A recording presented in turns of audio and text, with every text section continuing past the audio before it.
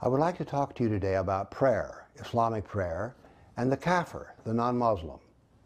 So you may be a non-Muslim, but you play a part in the prayer of Muslims every day, and I thought it might be interesting for you to understand this.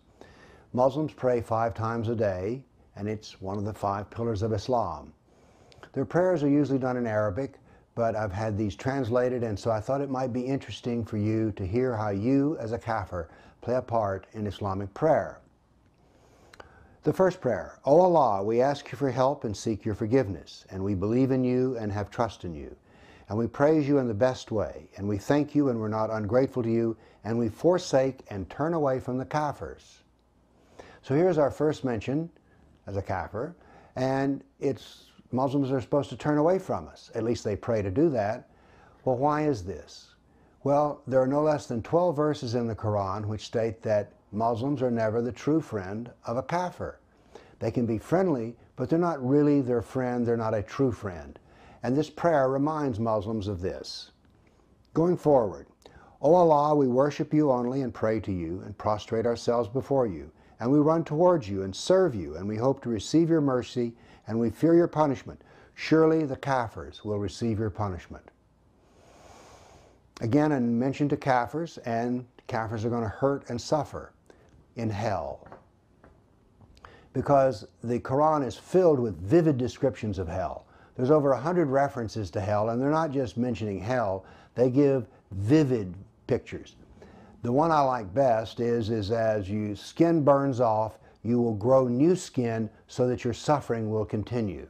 And so in this prayer, we have reminder of that. The second prayer, O Allah, verily we seek your help. We believe in you, we put our trust in you, and we praise you, and we're not ungrateful to you. O Allah, you alone do we worship, and to you we pray and prostrate. For your sake we strive. We hope for your mercy and fear your punishment. For your punishment will surely reach the Kafirs. Again, another reference to Kafirs and how we are going to suffer. But it goes forward and says this, O Allah, Punish the kafirs of the people of the book who are preventing others from following your way.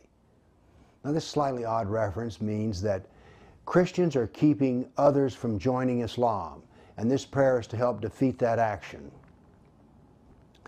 Now, the third prayer is more than a prayer, it's the first surah, the first chapter of the Quran. And it has seven verses. In the name of Allah, the Beneficent, the Merciful.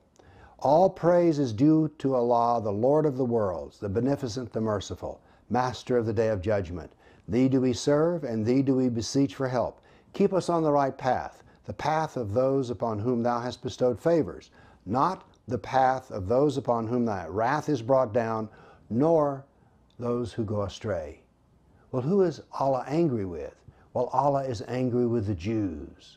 And who has gone astray? Well, these are the Christians. They're the people of the book who have gone astray. So here we have references in three prayers of the Muslims towards the non-Muslim, and they are all negative without exception. They all ask for suffering to be brought to them. Now this is not too much of a surprise perhaps because the Quran is filled with suffering that's to be brought upon the kafir. Every mention of the kafir in the Quran, the Sirah, the Hadith, that is, the biography and traditions of Muhammad, are all negative and very harmful. Well, the prayers reflect this. So five times a day, Muslims include kafirs in their prayers, but it's that they will suffer because they are so wrong and they should be harmed. Thank you.